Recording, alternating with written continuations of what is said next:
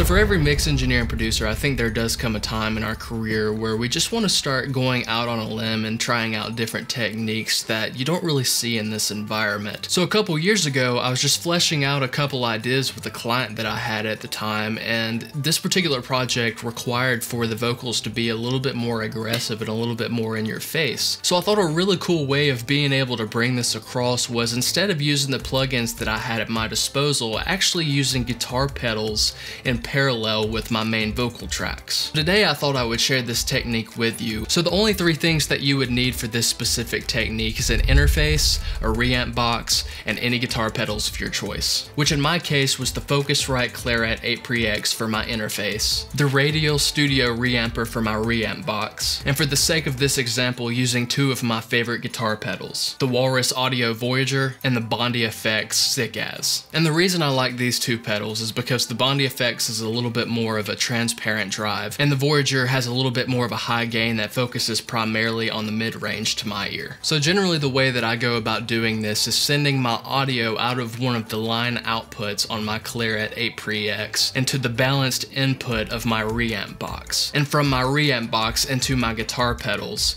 and from my guitar pedals back into input 1 of my interface. For most cases when I'm doing this technique, I keep the level of my reamp box at about 12 o'clock.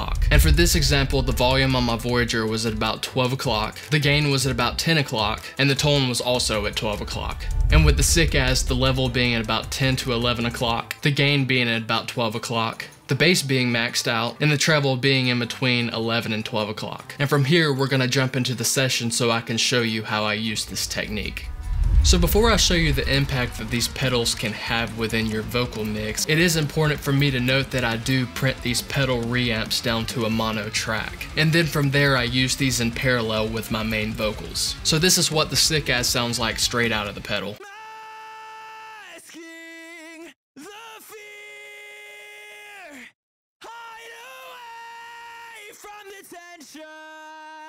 And this is what the Voyager sounds like straight out of the pedal.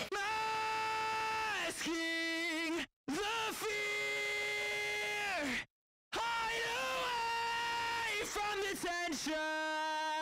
This is my friend Victor Borba who is performing these vocals and for this particular part of this song it was really important to ensure that the vocals were going to punch through the mix the right way because this part of the song is extremely dense. There's a lot of things going on along the lines of synths, pads, not to mention the drums, bass, guitars, and any other tracks that I incorporated with this part of the song. So it was really important for me to allow for the parallel pedal reamps to really carry this part of the song and it just did an incredible job job at doing so. So this is what the vocals sounded like before the parallel Voyager and Sick As.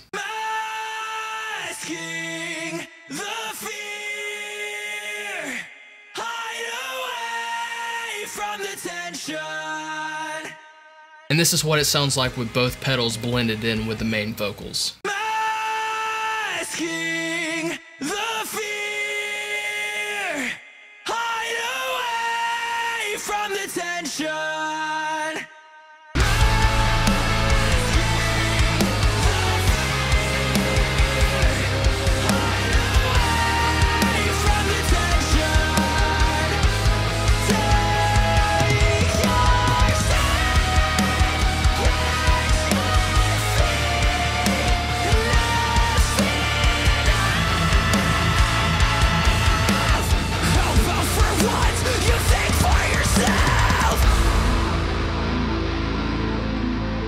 Think it's probably pretty evident to you that I do allow these parallel attributes to carry this part of the song. For me, to my ear, I really wanted to hear a little bit more of that distortion since this part of the song is so big. For you, when and if you want to try this specific technique, you may very well want the main vocal to carry whatever song you're working on. For example, if you're working on a pop song, you may very well want your main vocals to carry the song. But if you're looking for a really cool effect, you may also want the distortion part to carry a specific part of whatever song you're working on. It's not unheard of for me to play around with different delay and reverb pedals as well. So don't be afraid of playing around with any effects or pedals that you have at your disposal. Just experiment, have fun, and happy mixing.